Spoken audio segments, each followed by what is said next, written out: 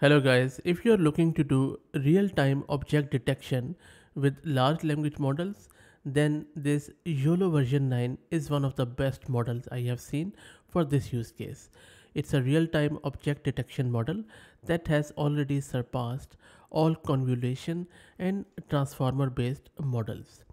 When I say convolutional based model, what it means is that it's a special type of neural network or LLM or model or simply a software that is used for understanding images. It works by breaking down the picture into small pieces and looking for patterns in each piece like edges or shapes.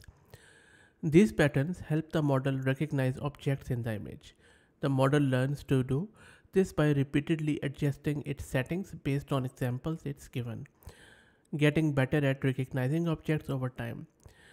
So convolutional model or CNNs are really good at taste uh, a task like figuring out what's in a picture, like whether it's a cat or a dog, because they can understand the feature that make up different objects, and that is how this model is has already surpassed the CNNs by exactly detecting the objects within a image.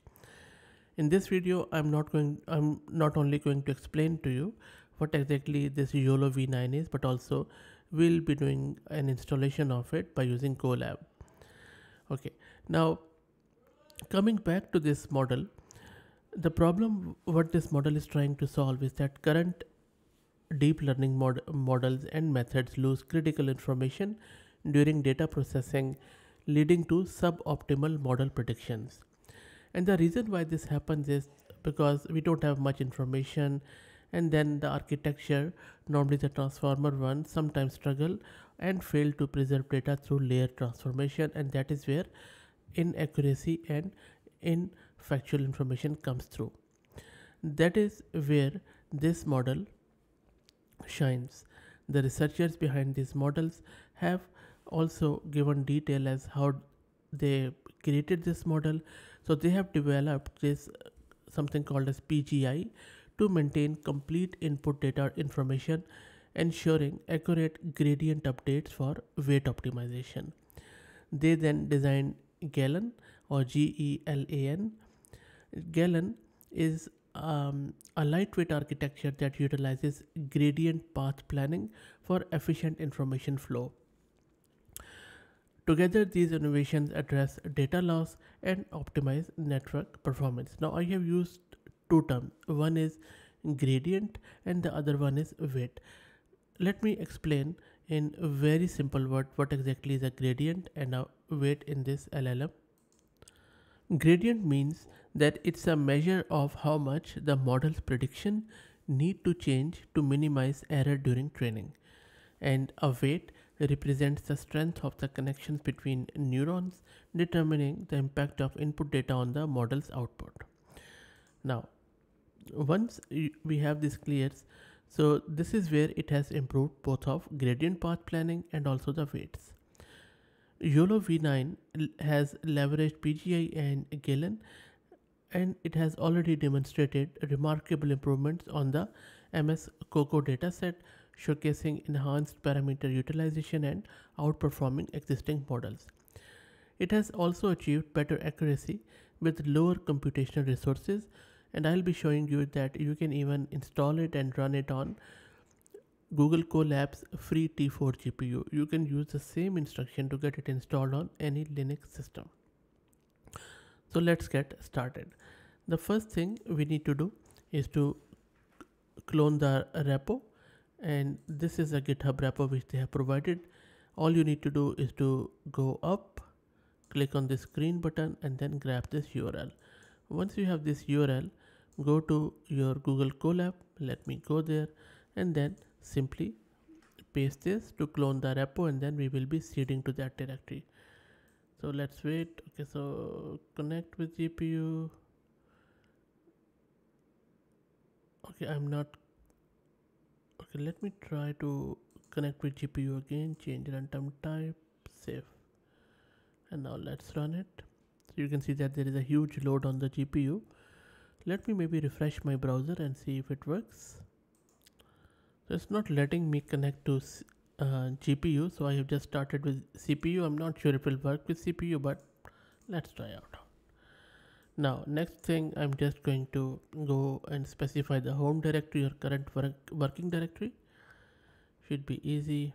And now let's install some of the requirements and this is simply our familiar pip install requirement.txt and also supervision. Hopefully it will work. I'm a bit skeptical about the gpu thing but let's see. There you go. So it is installing supervision dash q which is great. That is done. L now let's download couple of images. I'm just downloading this um, their provided image from here and then we can also upload another beach image but we'll do it later. Let's also create a directory to download model weights. That is done. And let's use wget to put the model weights in this new directory. Shouldn't take too long. Okay now that is done. Now let's define a function which will use torch library process detection and lot of other things. And this function has been provided by the researcher so i'm just going to use their code. Let's run it to implement it. That is that is just going to create the function. That is done. Now let's put our matplotlib so that it will be able to detect the image here that's done now let's do the inference. So I'm just asking it to detect the objects in this image which we have just loaded. Okay what it is saying I think it is just complaining about there you go. So it is asking us to put the uh, GPU here. So let me try again to see if the usage limits have been lifted. So I have upgraded to this another notebook in AWS SageMaker and now you can see that it is running. It has it was able to detect my t4 and there you go. So this is the test image which it has produced and it has very successfully detected the objects in this image. Now let me upload another image and try out with it. So I have just click on this left hand side on this upload button and then from there I have uploaded this beach.png and I have given the path to this beach.png let me run it so it is fusing the layers that detected the GPU and it has given me the error. Okay so I think it is still the GPU stuff anyway but at least we were able to run it with one um, image. So you can see that it has successfully detected it and I'm not going to upgrade it again. But anyway if you have the credits to use these GPUs then feel free to try it out on as many images as possible and of course not only you can change all you need to do is to change the path of this image here. And as I showed you earlier there are various models in this YOLO v9 and you can change your um, model weights here as per different YOLO model. And let me quickly show you the different models here. So there you go. So you can see that they have these variants in different sizes which you can use and it has given the parameters and all that information on this github repo. Also if you want to do the local installation you can use docker and then but make sure that you have a good gpu on that one. And from there you need to do install all of these packages and then go from there. I haven't tried it out so try it out. Let me know how it goes if you want to. And i might do an installation video on my ubuntu but I will see because I think it would require a bit of a beefy GPU which I don't have access to for now. Anyway so that's it guys. I hope that you enjoyed it. Let me know your thoughts on YOLO I think one of the best models out there in terms of object detection. Very accurate very clear and quite understandable too. If you like the content then please consider subscribing to the channel. And if you are already subscribed then please do me a personal favor and share the channel among your network as that helps a lot. Thanks for watching.